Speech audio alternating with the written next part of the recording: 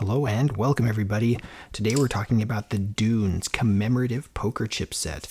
First, we always like to deal a hand of Texas Hold'em, and there's a reason for this. Every one of these videos I want to be standalone, so make similar points here. If you're at home, grab two cards off of your deck at home. Tell us all what you have, especially if it's interesting. We're kind of short on space here. I'm going to try to condense this. We'll turn. Oh, wow, that's already looking awfully fleshy. And a jack to finish it off. One of the reasons why I do that is usually most people will focus on the cards in play rather than the chips. Did you guys notice that just now?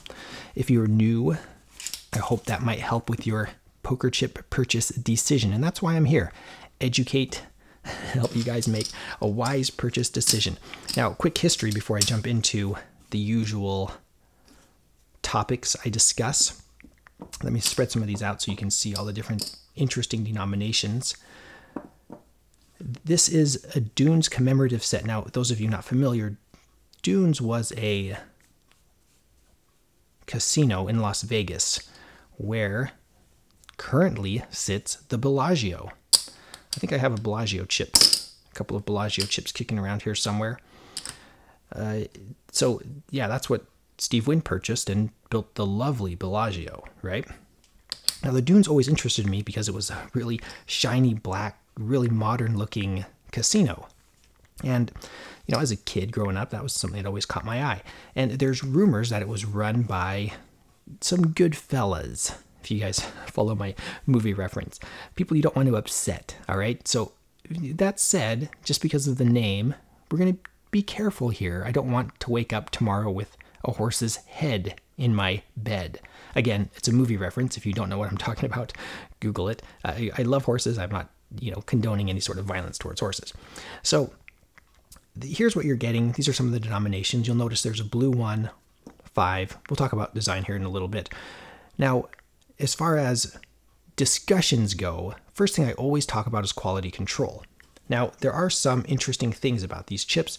Uh, you'll notice right here, it looks like a piece of plastic from the manufacturing process got stuck underneath this inlay. Now, that actually sticks out enough it affects flatness. So, when you rock these back and forth, you can see uh, they're not perfectly flat. And it seems to me that these are very average when it comes to flatness. Actually, these fives are pretty good.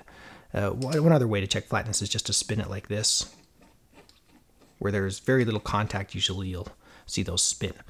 Now, um, other quality control things that you'll notice, uh, they have sharp edges Unlike China Clay, these are more akin to like a Paulson style chip. Do I have some kicking around here? Here are some Paulson Classic 25s right here. And these, you know, have very similar edges. However, it's a different, obviously, material. So the edges themselves are actually very clean. There are a couple of chips that I've noticed where they have a mild, rough edge. Now, China, these are made in China uh, the person who is responsible for these chips and this machinery has probably been executed by now if their superior has seen this video. So if you if you work at the factory, replace that machinery quickly. Okay, get, get this squared away. You can see this one right here has a little bit of dirt on it. That might just be. I doubt that's from me playing with it. I it's been pretty clean here on my table. So I don't know. I just barely noticed that. Now, other things we look for in quality control is weight, width, and thickness. I'll throw all that information up just uh, between these two stacks, the ones and the fives, because these are the ones I have stacks of. So I can measure those things and compare the two. And what we're looking for is uh, egregious mistakes when it comes to thickness or quality control issues when it comes to thickness or weight or width. And I didn't find any of that. This is a very serviceable deck. Uh, I'm also, yeah, I'm pretty impressed that they got the stamping. Here it says Dunes right here. And there isn't a lot of flashing or excess material that causes these not to be flat. Just in general, it's a pretty impressive deck for what it is. something else that I've noticed with this these Nexgen, this that's what this is. They call them true clay, they call them various other things. But with this Nexgen material, I've noticed that chips with this Nexgen material sometimes have other quality control issues like the Nexgen ProGen. They came with some inlays missing. I don't know if that was just my set, but this was a couple years ago. The Dune set, I have not seen any of that. So quality control is the very, very average, maybe slightly above average, but we're going to give them an average rating. And the second thing we always talk about is design. Now, this is a lovely. Now, again, I'm not just saying this because of the people who ran the dunes, and we, you know, I don't even know it's an alleged thing, but don't want you know somebody to break my hands. This was back in the good old days when you didn't cheat because you didn't want to leave the casino in a wheelchair, right? Now it's just, oh, they're going to ask you to leave and you might get a citation or something for like nuisance behavior or something really mild. Uh, this was back in the serious days of Las Vegas casinos, right? So the design on these is absolutely lovely. Now, I like the blue ones. Some people won't.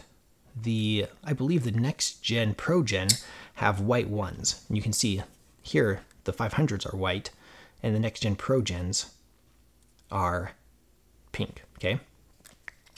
So if you're not a fan of the blue ones, you might want to avoid these chips. However, I really like that.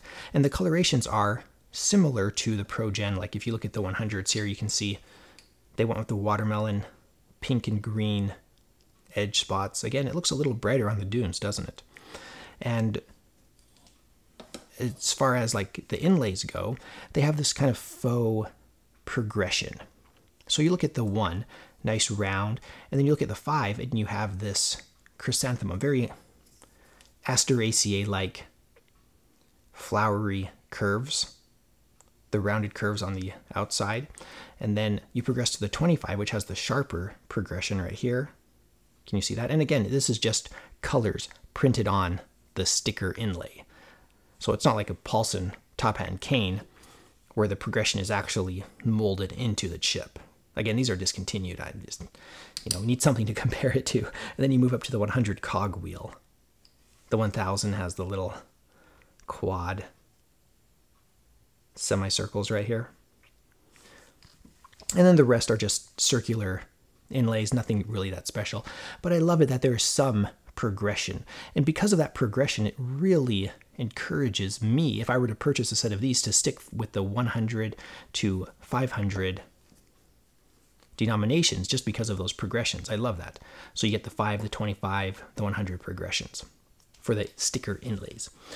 So design, I would say this is above average. This for the price that you're getting these and the quality being very average, I'm really impressed with the design. Like I much prefer this this dune stamping right here, this dunes stamping over the uh, that we call some of my friends call it the the P-ness, right? So there's the P with the arrow underneath it sticking out like that. Yeah, yeah, that's a nice reference right there. So you know, I like these a lot more than the Pro Gen. Now I tout these as a great travel set, but are these nice enough to persuade me to recommend these? Well, let's keep uh, trudging through this discussion. So with you know quality control average and design slightly above average, it falls to materials kind of mixed in with durability, right? So materials is this Nexgen material, and you guys know from my previous videos, maybe if you guys are subscribed, please subscribe if you haven't, that some of these chips I just break with my fingers, right? This is the Roman Times. If you want, go watch that video. I just grab a chip and I'm going to do it right here, and I break them on camera if I can. And again, this is not, wow, that's actually pretty tough. Can you see the circle marks on my fingers here? All right, so that five did not break. well, when in doubt, try again here. Let's try the one. Yeah, all right, so I cannot break these with my fingers. Wow, so actually, although it feels like a next-gen material, it's actually very durable. I, I would imagine with the square edges, they may wear slowly, but you know, I imagine these would last you a very long time. It's my one concern is the longevity of these sticker inlays. Again, you might be able to get replacements for those. No idea. Uh, design, by the way, I should mention it does say commemorative right here. Commemorative dunes, hotel, and country club. Doesn't say casino though. Hmm, very, very interesting. Now, durability, you know, all of that, I would say is slightly above average, just based on what what I'm feeling in my fingers right now from trying to break these chips. Very durable. So if you're happy with everything you see, you know, we need to talk about other competitive options and the segment as a whole.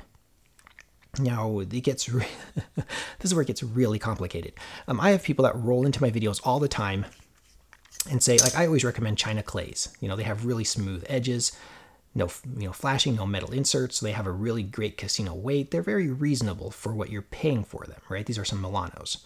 Uh, there are other options like like Majestics, right? But then I get people who roll in and are just like, yeah, right, I'm not going to spend that kind of money on it. I want to buy something like this, right? Some ABS, metal insert, 14 and a half grams, that which is way heavier than a real casino chip. Plastic poker chips, and this is all they want, right? They want a number on there so you don't get their drunk friend. Hey, what are the, what are the, you know, like for example, the dice chips. Let me grab some right here. Sorry, I think I just bumped the tripod. Like these right here, these dice chips, right? You always get some drunk guy who's like, the red one, what's the red one worth again? All right, what's the green one worth? And eh, like every hand, you're just like, come on. You know, so, you know, all people really want, some people, is a denomination and a chip that has some weight to it. Done. You know, they'll get these and, you know, I support them in that. Any, if you, if I helped you make that decision, you know, you saw what's available out here and you said, all right, we're going to go with the cheapest one. I'm fine with that you know, if you've been to Vegas and you want to, to capture a little bit of that magic, this might actually be a really good set because it refers to Dunes, which was actually a casino in Las Vegas. Commemorative right here. It's a lovely, lovely kind of throwback set. It may cost you a little bit more. All right, maybe maybe twice as much. I purchased these from Apache Poker Chips. Here, they actually sent this with the set. I don't tell that I don't get anything free for them from them. They just have great customer service, so I buy poker chips from them. Yes, I actually buy these. So that's where I'd recommend you go to get these. Go to Apache Poker Chips. They have some other options though besides just these. They also have a Pioneer set, which is also a commemorative set of another interesting Las Vegas casino. We'll make a video about that. But you know, this is another interesting set. Uh, the colors are a little bit different, maybe a little bit more reserved. I'm a very loud, flamboyant kind of guy. If you're maybe more of a reserved person, you might want to look at these Pioneer commemorative chips. And again, there's not really that fake, that faux progression on the inlays. Like I was showing you with the cog and stuff, they're all just very similar inlays, which give you a nice harmonious continuity across the whole set. Am I just making up words now? Maybe I am. Now, if you're not interested in the Nexgen material. Obviously, you know, they have the Nexgen Pro Gen, which I've mentioned. Um, they have the Roman Times. I'm not super thrilled about those, but you know, those are an option. You can move up or down. So if you're going to move up, you may want to look at some China clay chips, right? Majestics are a reasonable option. Milanos are readily available almost everywhere, Amazon, you name it. The one nice thing about Majestics is you can get some really sweet plaques with them. yeah, they're very expensive. Uh, so uh, you might want to, you know, if you're going to do that, you're going to need the budget for it. But that's what, you know, some of the China clays bring. If you're going lower end, you know, Las Vegas Casino chips right here, very reasonable chips. They're okay. They have a little flashing, kind of some sharp edges. They're too heavy, metal insert, not perfectly flat. You know the usual routine. I'm really happy with the Amazon available on Amazon, Casino del Sol poker chips. As far as quality control goes, these are, I'll make a video about these. These are actually pretty good. There's not too many sharp edges. It's very reasonable. Um, I would steer clear of, now this is an older purchase, Ace Casino poker chips. Uh, you know, sim, you know, similarly priced, but they have lots of flashing. Can you see all this flashing, all this extra material that was left on the chip? And this is just a sample set of, you know, my couple of rolls I've purchased. So this isn't a huge sample set. If you actually have really good quality control on your Ace Casino chips, leave a comment. We would love to hear that. But yeah, all of these chips are very affordable. These metal insert ABS chips, and that I would consider those just um, half a step, slightly less expensive than these. And you know, the, everything else is you know available. So we're going to roll into a sound test. I know sound is important to some people. My personal preference, and that's all it is, preference, is I don't mind the sound of chips clinking around during a game for hours. It doesn't make my ears bleed. One of the girls that we play with, she hates certain chips. Uh, I'm not sure if I want to specify which ones, just because she doesn't like the sound of them. So we're going to roll in some Paulson Classics. These are discontinued, I know, but we're just going to use them as a sound test to represent uh, like Las Vegas chips, right? Because these are made by Paulson and these are made by Paulson. So let's see where we end up here. Let's do some ceramics. Uh, should we do two ceramics just to change things up? We'll do some China clays represented by Milano. And I'm missing something obvious here. Metal insert chips. We'll use the Las Vegas, what look like tourist trash chips. All right, starting with the dunes here. These are scroll ceramic poker chips.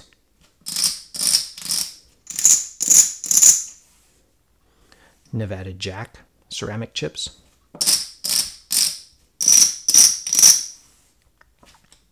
Las Vegas ABS metal insert chip. And finally, Milano China Clay. All right, I hope that helps somebody out there.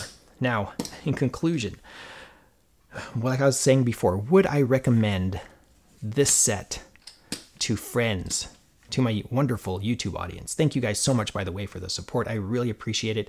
You guys make all of this possible.